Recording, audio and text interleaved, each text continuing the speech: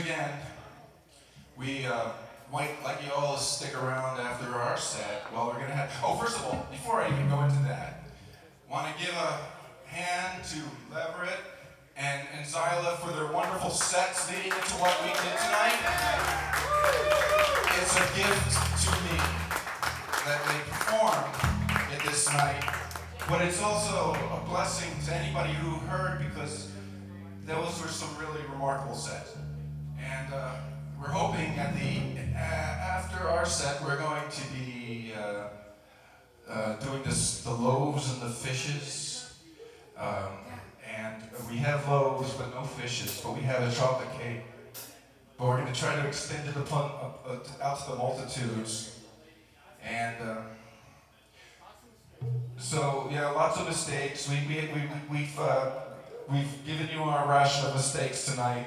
So the next person who, get, who makes a mistake uh, gets a kick in the ass. No, no, just kidding. We, we save the kicks in the ass for private.